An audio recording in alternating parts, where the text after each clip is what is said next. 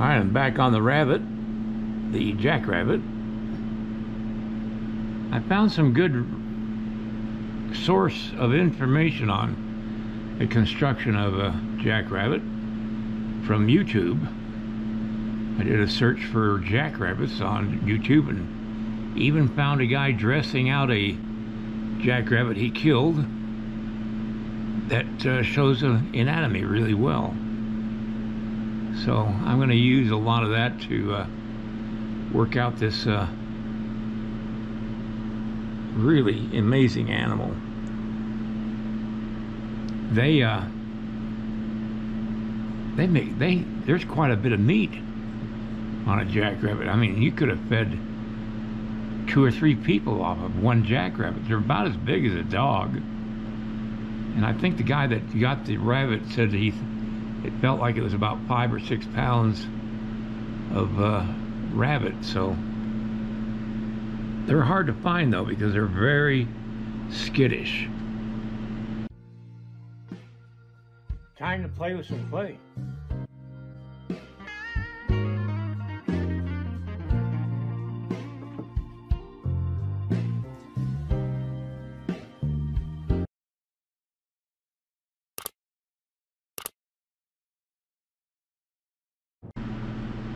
I uh, turned the heat on just to take the chill away out of the studio. It was a, it's in the 60s outside, but it ain't in the 60s in the studio. So as soon as this gets done with its cycle, I'll uh, turn it off so I won't have to listen to it, and you won't have to either.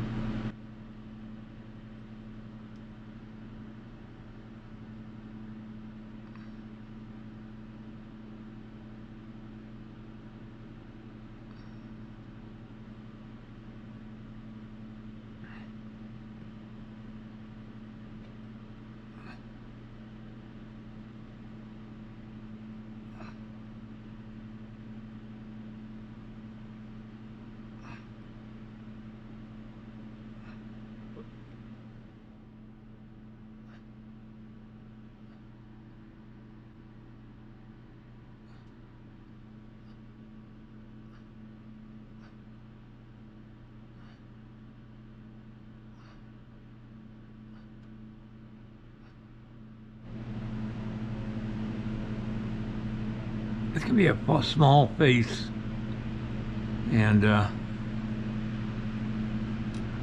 it's a little daunting when I think about how small this face is and how I've got to try to make it look a, like a jackrabbit's face.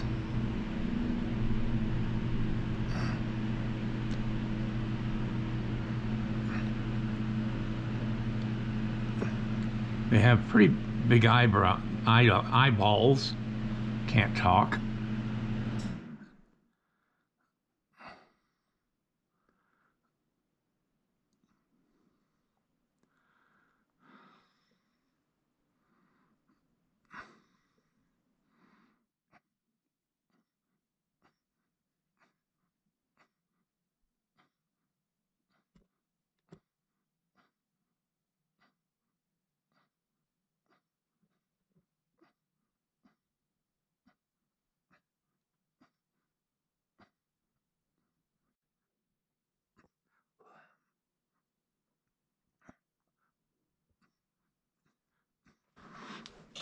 I don't know. I think I might be too small of a head right now.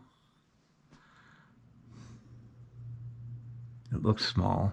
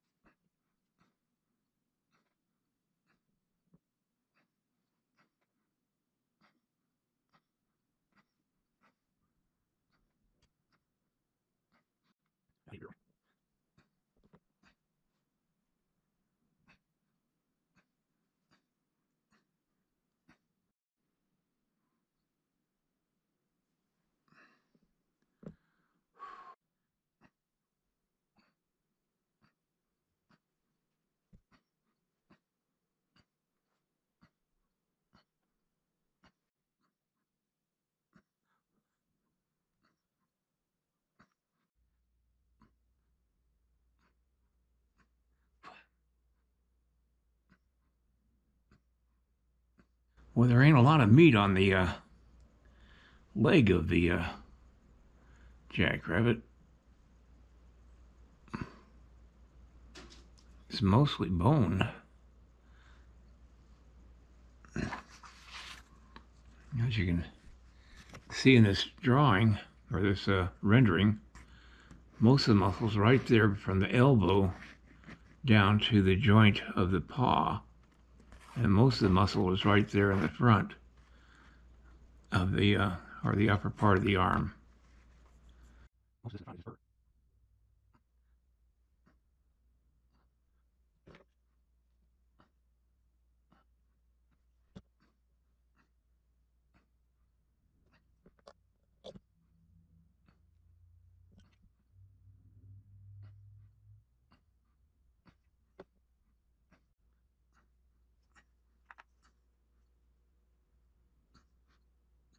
I'll just go ahead and let the arbiter stay there, but I'm not going to put the ears on yet.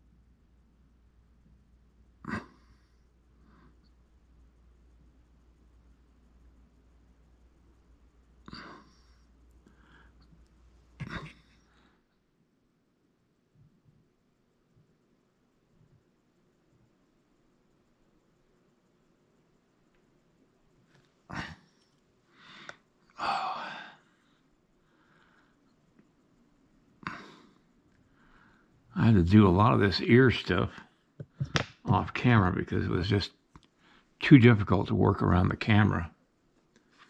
And uh, I think I got it figured.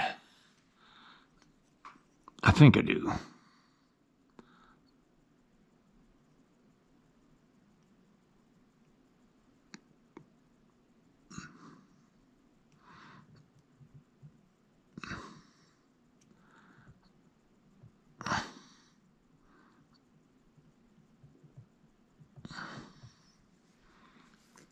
I got to work on those ears a little bit more. I'll do that tomorrow. Um, let's put this on the uh, base of the cowboy and let's see how it looks. Well, it's not looking too bad. The uh,